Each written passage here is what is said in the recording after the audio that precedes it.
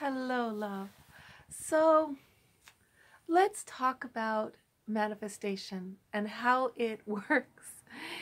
It is so funny to think of these examples that happened recently.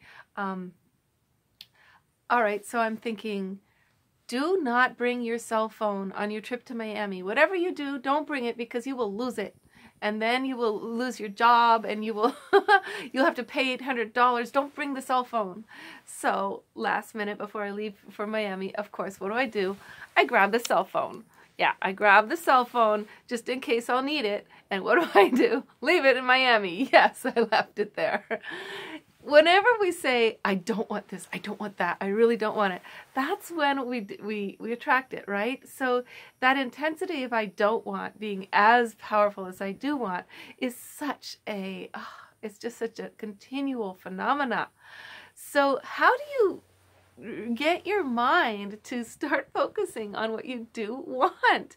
It's so much more creative to think about what you do want, right? And and immediately the doubts come in. It's like, well, what I do want is just too big, it's too expensive. I don't want to think about it cuz I'll never get it.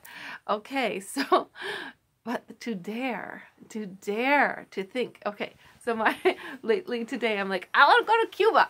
I want to go to Cuba and dance. I want to I want to learn from all the Cuban people their way of life, their their values, while our society is getting more and more insane and and and oh, gosh, I want to go learn from the Cuban people.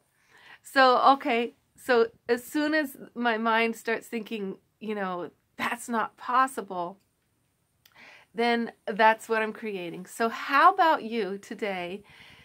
Dare, dare, just dare. I'm always saying the same thing to you.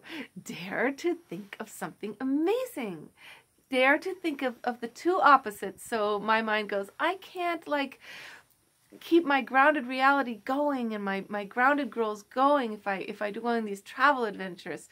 Take them in each hand and clap them together. Let those two realities be entwined. Your magical and your practical. Okay? So see both realities. See both of them.